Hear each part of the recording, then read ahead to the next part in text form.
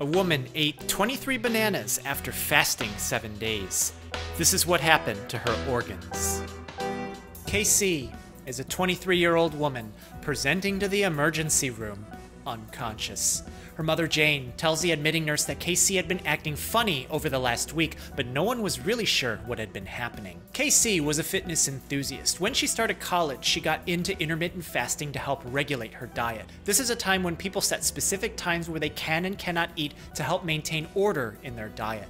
She noticed that sometimes she could go a few days without eating, and without making up for it, she'd lose a good amount of weight. She noticed that on the day she started eating, she'd have a massive headache after the first meal, but she didn't think anything of it. Over the course of the pandemic, KC had felt that she had become less fit. She took it into her own hands to tighten the fasting periods of her eating.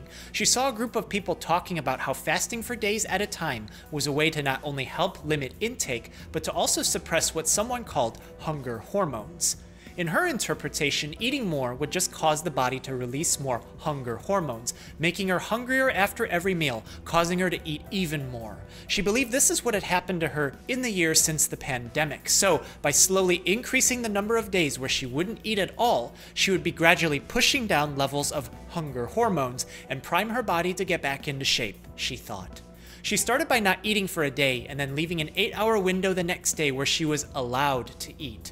The next week, she'd try for two days in a row without eating and then three days the next. She did lose weight, but noticed that her workouts were sluggish, and the more days in between where she didn't eat, the more that she wouldn't feel well when she did start eating. KC had read online about refeeding syndrome that can happen when someone comes out of a fasted state too quickly. If someone fasts for too long, then their body would adapt to that state, so eating a lot suddenly can throw everything off balance. She thought she understood it and knew that taken to the extreme, eating too quickly after fasting for too long could be life threatening, but she would never take it to the extreme, of course. It didn't really matter to her. She didn't have any syndrome. She was okay, but just didn't feel great. As the weeks passed, KC lengthened her fasts. It wasn't intermittent fasting because she would go for almost a week in a row without eating. She noticed that she stopped getting her period. Her biggest concern was that if she broke her fasting schedule and started eating like she had before, then all of her work towards being the shape that she was now would be all for nothing. She knew she eventually had to eat and she was okay with that, so nothing seemed to be the problem. But one day, after fasting an entire week, KC knew it was time to eat. She had never fasted that long. She prepared beef soup, which she read about online to help start refeeding and had done it several times with success, but it wasn't enough. Over the next few hours, KC developed her normal headache. She drank some water for it and started eating some meat, and then her stomach started to swell. She went to bed feeling cold and shaking. Over the next couple days, KC thought she was being cautious about refeeding. She kept it up, but her headache wouldn't go away. She would feel like her stomach was swollen, but she just let it go. KC felt her heart beating in her head. After a while, she thought she was in the clear, and any risk of refeeding was over as she started eating. She was hungry and she started eating some fruit, and she wouldn't stop eating until she realized she ate 10 pounds worth of bananas and left the peels all over the kitchen counter. Minutes after her breakfast, KC became thirsty and started drinking as much water as she could. She felt bloated and inflated and thought that the water would help stop her headaches. She could feel her heart skipping as her headache started piercing into her skull. She felt her stomach swell up while parts of her legs started twitching as the last thing that she could remember. Her mother, Jane, finds KC on the floor wheezing and sweating without knowing how long her daughter was like this. 911 is called paramedics find that KC drifts in and out of consciousness as she's brought to the emergency room where we are now. At examination, doctors noticed that KC's body mass index was a little low. Her actual body weight was lower than her ideal body weight, which is a calculated and standardized clinical measure based on height and is used for things like dosing medicines. In this case, doctors weren't exactly sure what was happening, but what they were sure of was that she seemed confused and would drift in and out of consciousness. A quick test finds that KC has hypoglycemia. Hypo meaning low, glyce from Greek meaning sweet and referring to glucose, a name for sugar used as energy in the human body, and emia meaning presence in blood. Low sugar presence in blood. Hypoglycemia can explain why KC has altered mental status as doctors start her on a glucose IV, but something's wrong. If KC had eaten almost 30 bananas before presenting to the emergency room, and bananas are well known to have a lot of sugar, then how could she have low sugar presence in blood? A blood test finds that she has vitamin deficiencies. Doctors and her parents still don't know that she ate 10 pounds of bananas after fasting for a week because she couldn't tell them as she drifts in and out of consciousness. In her hospital bed, the nurse begins to administer the vitamins to KC. As doctors continue her IVs, they find that she's also dehydrated for some reason.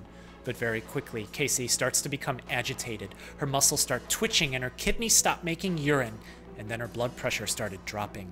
Her heart rate would change from slow to fast and back, while parts of her heart would skip beats. And another blood test gives everyone some more clues as to what could be happening. Doctors find that KC now has hyperglycemia, high sugar presence in blood. This could make sense because they've been giving her sugar in her IV, but the test also shows that she has hypokalemia, low potassium presence in blood. But why would potassium be low in her blood? She ate a lot of bananas and those have potassium. KC's kidneys don't produce any more urine, so the potassium couldn't have been urinated out. She hasn't had a bowel movement in the one day that she's been in the hospital, so she didn't lose any there either. You can't breathe potassium out, meaning that that potassium must have exited her blood and entered somewhere else inside of KC's body. And if most of the body's potassium is already inside the cells, then it means something must have caused even more potassium from the blood to get shoved into the cells. And this happened during the time that she was in the hospital because when she presented to the emergency room, her blood potassium level and other electrolytes were mostly normal. So, how could this happen? The medical team takes a closer look at the blood test and finds that it's not just potassium that's low in KC's blood. She also has hypocalcemia, low calcium presence in blood, hypomagnesemia, low magnesium presence in blood, and hypophosphatemia, low phosphate presence in blood. And if there's been more things going into her body rather than coming out of her body during the time that she's been in the hospital, then why would all of these have low presence in blood? You see, in a fasted state, the body becomes sensitive to insulin, which is a hormone that's released after you eat a meal, and the amounts of insulin released can vary depending on the kind of food that you eat. Carbohydrates tend to spike insulin levels, while proteins and fats get a response too. This brings us to the idea of cell signaling. Hormones are the body's way of sending signals inside. In the case of insulin, it's a signal to tell the cells that new nutrients are here, time to absorb them in and use their resource. When the body doesn't get a lot of new nutrients in very often, like when you're fasting, the cells want to be more alert for the signal when there are new nutrients available, so they become more sensitive to insulin. In KC's case, she knew to start eating slowly when breaking her fast, to eat a little and then build up more over time. But when she finally let up and ate several pounds of bananas when she thought she was in the clear, the sugar rush from the fruit signaled to her cells to shove the nutrients floating around in her blood into her cells.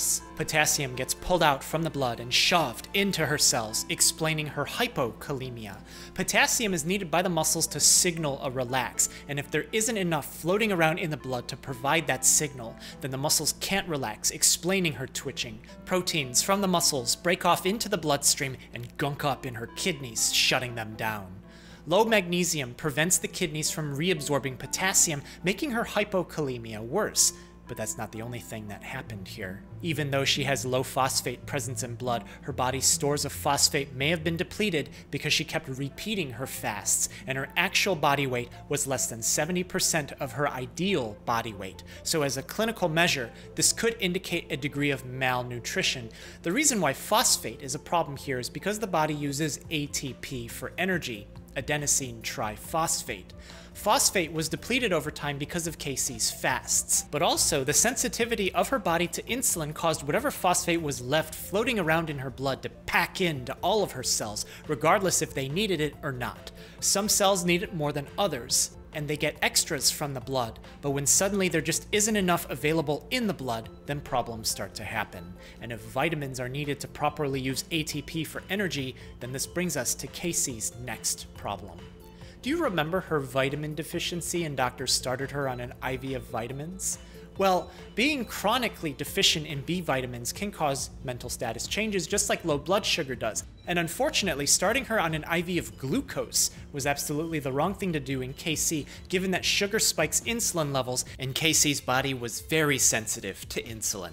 The 10 pounds of bananas she ate did her in, and because she couldn't tell anyone and her blood levels when she presented to the emergency room hadn't caught up to what was happening, things just kept getting worse for KC. Fasting is popular now in fitness and diet circles, and there's a lot more talk about refeeding syndrome now than in 2005. But the reason why doctors may not think of it right away is because it historically didn't happen all that often here in the United States. If it does happen, it's not always immediately obvious. Refeeding syndrome you might see in people who can't eat or don't eat for some reason. Those people might have a tumor in their mouth or their neck, or they have a severe mouth sore, or they have stomach disease and they don't eat for several days. Then they become critically ill for some reason, maybe or maybe not related to the fact that they haven't been eating for a couple of days.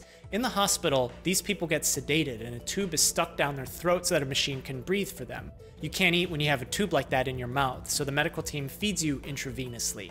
If they don't know that you haven't eaten for five days because it might not be that obvious, sugar and amino acids and fats are sent intravenously, causing an insulin increase, causing everything to get shoved into the cells in the setting of insulin sensitivity and causing organs to shut down because there aren't enough nutrients in the blood for them to use. If electrolytes in KC are low, then the answer is to replace them with care and constant monitoring as to not go overboard and cause high electrolyte presence in blood, which can be just as deadly as the opposite. This could have been avoided if KC started refeeding slowly and not eaten 10 pounds of bananas so quickly after breaking her fast, or just not fasted in such an extreme manner. For weight loss, fasting can be a great tool, but with every great tool always comes a safety precaution. With careful monitoring and support of family and friends with her afterwards, KC was able to make a full recovery. Thank you so much for watching. Take care of yourself and be well.